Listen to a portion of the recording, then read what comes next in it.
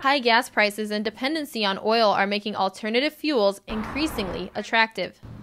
You can do without milk, and it's $2 and something a gallon but you can't do without gas. Ethanol makes prices at the pump cheaper because it can be made from crops like corn and barley.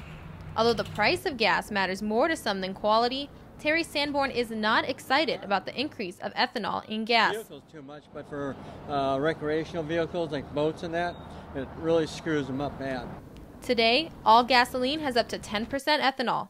E85 gasoline has 85% ethanol and is only for flex fuel labeled vehicles.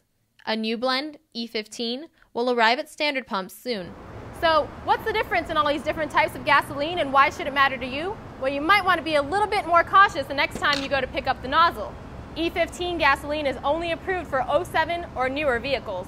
Dwayne Yantorno has worked for the Arizona Department of Weights and Measures for many years and has noticed what too much ethanol can do to vehicles. At high, high concentrations, unless the vehicle is designed specifically for higher concentrations of ethanol, um, it can affect the oxygen sensor.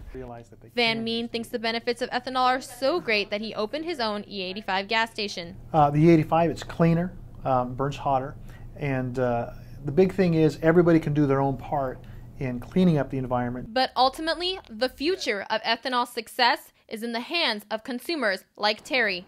In Phoenix, Pilar Arias, Cronkite News.